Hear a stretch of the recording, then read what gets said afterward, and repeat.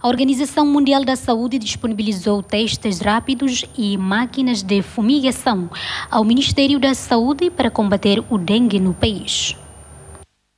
O representante da Organização Mundial da Saúde, Arvin Matur, entregou esta terça-feira os equipamentos para dengue, bem como testes rápidos e máquinas de fumigação à diretora-geral da Prestação e Serviço do Ministério da Saúde, Odete Vegas. Odete Vegas agradeceu à OMS pelo apoio para facilitar o Ministério da Saúde na prevenção do dengue no país.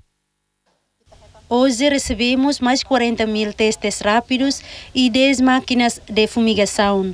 A OMS ajudou-nos muito, não apenas os equipamentos para dengue, mas também os de Covid-19, entre outros. Prometemos responsabilizar na utilização para prevenir o dengue em Timor-Leste.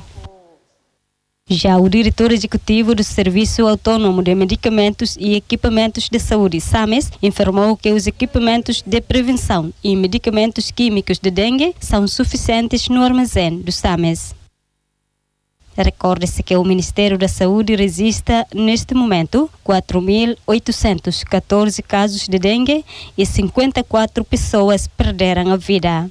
Ernestina Gui e Domingos de Deus na reportagem.